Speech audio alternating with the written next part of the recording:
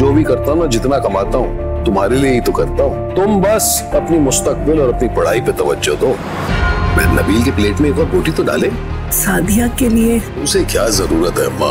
आखिर बेटा ही ज़िंदगी का बोझ उठाता है ना? पता नहीं उसे ऐसा क्यों लगता है कि उसकी मोहब्बत और शफकत का हकदार सिर्फ़ बेटा है। काश मैं लड़का होती। मैं बाहर जाना चाहता हूँ। पर क्यों? जो मैं वहाँ पर दो तीन साल में कमा सकता हूँ या मैं बीस तीस साल में भी नहीं कमा सकूँगा।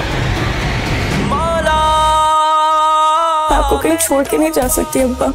मेरे जैसे बदकिस्मत लोग होते हैं जो औलाद बेटा बेटी में फ़र्क करते हैं। देखिए मकाफात सीज़न सिक्स में खेल लाडला। आज शाम चार बजे सिर्फ़ जियो पर।